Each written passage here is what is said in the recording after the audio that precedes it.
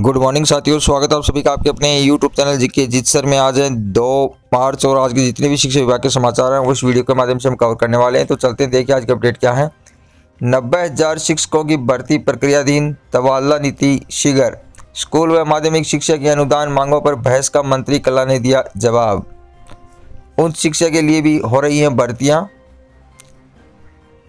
परीक्षा आवेदन पत्र जमा नहीं होने की स्थिति में एडमिट कार्ड भी जारी नहीं होंगे। संभावित परीक्षा कार्यक्रम जारी। राजस्थान विश्वविद्यालय एग्ज़ाम फॉर्म भरने का आखिरी मौका भी पूरा, तीन मार्च तक जमा होगी हार्ड कॉपी। ओबीसी और एमबीसी के नॉन क्रीमिलियर छात्रों को ट्यूशन फ़ीस नहीं देनी होगी। एमबीबीएस की सरकारी सीटें, कैबिनेट के फैसले। तृतीय श्रेणी शिक्षक भर्ती परीक्षा संपन्न, जल्द जारी हो सकता है परिणाम।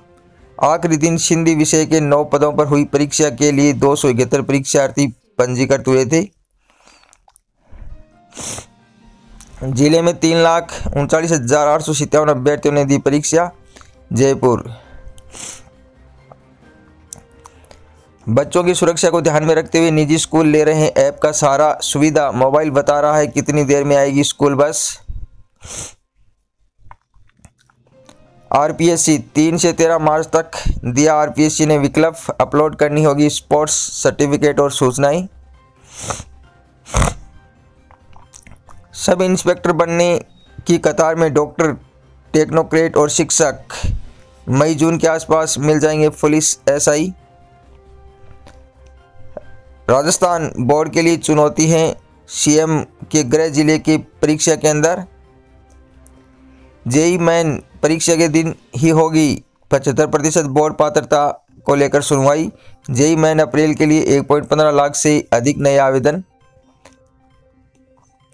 पेपर लीक मामले में गिरफ़्तार पटवारी ने किए कई खुलासे। पटवारी दमाराम विश्नोई आतन अपराधी हैं। पहले भी चार बार नकल के आरोप में गिरफ़्तार हुआ है। ये मामले वर्ष 2015 के हैं। अंग्रेज़ी स्कूलों के 9,712 पदों पर 12,000 आवेदन। अब अंतिम तिथि 16 मार्च। तृतीय श्रेणी भर्ती परीक्षा में नेटबंदी के कारण नहीं हुए आवेदन।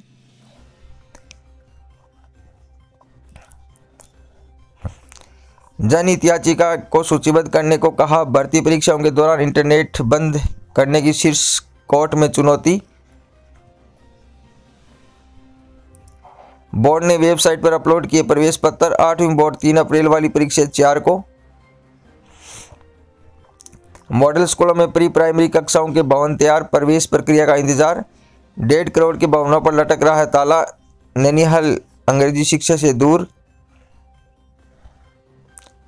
बस किराए में 50 प्रतिशत छूट का प्रस्ताव स्वीकृत। राज्य में महिलाओं के लिए मुख्यमंत्री श्री गहलोत के दो महत्वपूर्ण निर्णय। अंतर्राष्ट्रीय महिला दिवस, महिलाओं के लिए मुफ़्त यात्रा। यह माध्यमिक शिक्षा बोर्ड राजस्थान अजमेर, बोर्ड परीक्षा 2023 हेतु परीक्षार्थियों के प्रवेश पत्र तथा केंद्र सामग्री डाउनलोड एवं कंट्रोल रूम की स्थापना के संदर्भ में सूचना ये यहाँ पर दी गई आप देख सकते हैं। छात्र बोले, नहीं ले रहे हमारे आवेदन पत्र, कोर्ट ने कहा, स्वीकार करें। हेल्थ वर्कर व असिस्टेंट रेडियोग्राफर भर्ती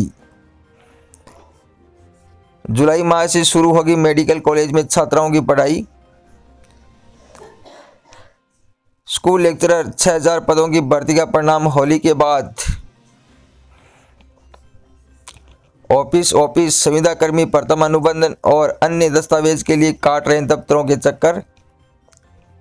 अध्यापक भर्ती परीक्षा खत्म, अगले पंद्रह दिन में आ सकती है प्रारंभिक आंसर की। आखिरी दिन हुई सिंधी विषय की परीक्षा, दो सौ इकहत्तर में से सौ अभ्यर्थी नहीं आए परीक्षा देने।